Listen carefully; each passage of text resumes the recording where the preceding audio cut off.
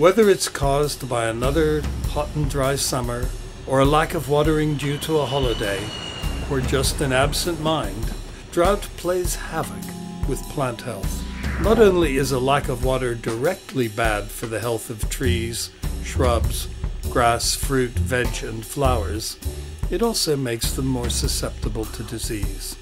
But you can prevent drought by building a soil structure that holds moisture near to the roots, and one of the best ways to do that is with biochar.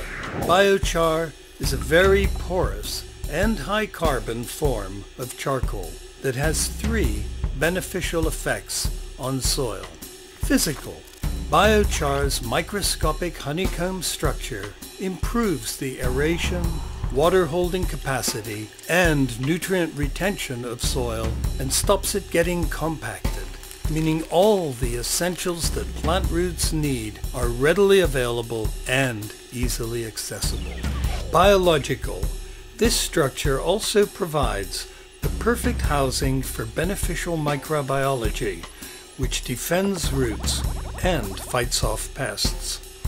Chemical.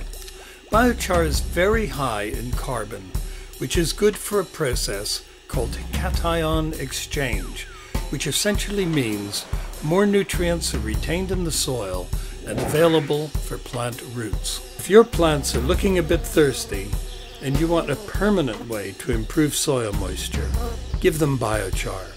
It's carbon gold.